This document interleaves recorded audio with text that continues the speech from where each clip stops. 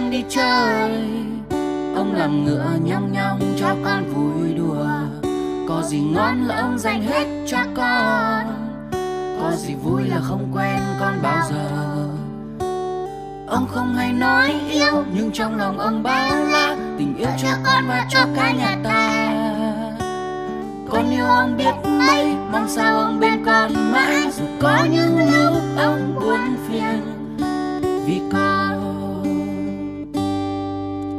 Bố được như ngày hôm nay. Chính là do ông bà dạy dỗ.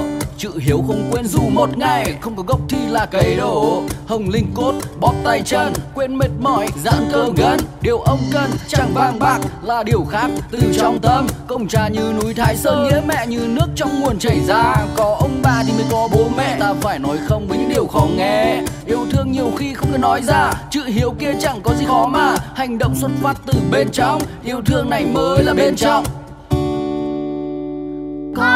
hãy rót nước cho ông. Và con nhổ tóc sâu cho bà. Hồng linh cốt là ông bà thích bao năm.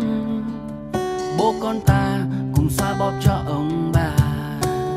Con yêu ông biết mấy, con yêu bà lắm đây. Và con yêu hết cả nhà ta. Hồng linh cốt cảm ơn nhé, đã bên ông bà con.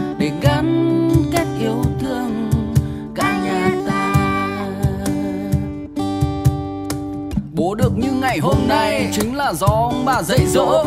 Chữ hiếu không quên dù một ngày. Không có gốc thì là cày đổ. Hồng linh cốt, bóp tay chân. Quên mệt mỏi, giãn cơ gân. Điều ông cần, chẳng vàng bạc, là điều khác. Từ trong tâm, Công cha như núi Thái Sơn, Nghĩa mẹ như nước trong nguồn chảy ra. Có ông bà thì mới có bố mẹ. Ta phải nói không với những điều khó nghe. Yêu thương nhiều khi không cần nói ra. Chữ hiếu kia chẳng có gì khó mà. Hành động xuất phát từ bên trong. Yêu thương này mới là bên trong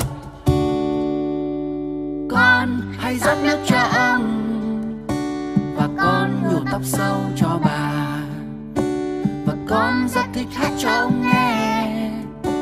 Và con rất thích đệm đàn cho bà.